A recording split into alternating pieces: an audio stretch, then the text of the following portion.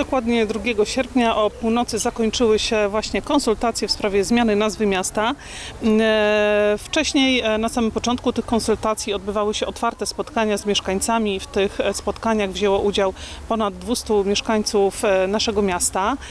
Przez cały okres konsultacji społecznych mieszkańcy mogli składać formularz zgłaszania uwag i opinii. Był to formularz dostępny w wersji zarówno papierowej dla osób, które nie posługują się tymi narzędziami cyfrowymi, jak i w wersji elektronicznej. Tych formularzy wpłynęło nieco ponad 600.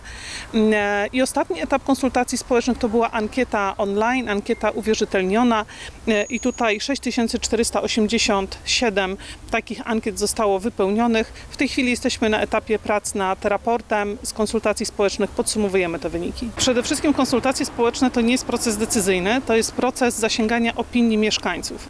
I teraz te opinie, tak jak wspomniałam wcześniej, e, zbieraliśmy w różnych formach, tak aby dopuścić różne grupy zainteresowanych mieszkańców, którzy, tak jak mówię, posługują się narzędziami internetowymi, posługują się narzędziami takimi tradycyjnymi, papierowymi, więc musieliśmy zaproponować różne formy zasięgania tych opinii i teraz jest etap podsumowywania tego, co udało się zebrać od mieszkańców, a wyniki ankiety online, która budzi tak wiele emocji, to jest tylko element tych konsultacji i wcale nie byłabym przekonana, czy taki najważniejszy. Równie ważne są formularze. Ja przypomnę, tylko ich wpłynęło ponad 600 i to jest e, bardzo często, znakomita ich większość jest wypełniana przez mieszkańców właśnie własnoręcznie, odręcznym pismem.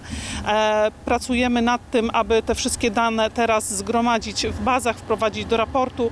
Jest mnóstwo e, uwag, do których trzeba się odnieść w sposób merytoryczny, bo przypomnę, że formularze składania uwag opinii to nie tylko taka prosta, proste wyrażenie stanowiska, czy jest się za, czy jest się przeciw. Mieszkańcy zgłaszali również uwagi do prognozy skutków finansowych, która też była objęta m, tymi konsultacjami, a także różnego rodzaju wątki historyczne, m, socjologiczne związane m, z ewentualną zmianą nazwy miasta i to są wszystkie rzeczy, które w tym raporcie muszą się znaleźć, a to trwa.